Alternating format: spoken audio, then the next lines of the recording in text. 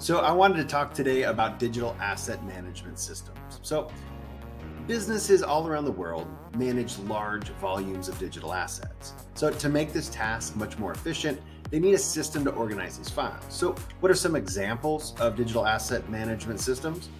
Uh, some great ones are MediaValet, Brand Folder, Bynder, Eagle, and MediaBeacon. So these tools allow marketing teams to create a central database to organize and access their digital assets. When you're looking, you'll need to consider your needs when you're picking a digital asset management system. So you want to compare what the system offers, how easy it is to use. Some questions you may want to ask yourself are, what problem do we need this digital asset management system to solve for us? Is the UI clear and intuitive? How long will it take my team to learn the system?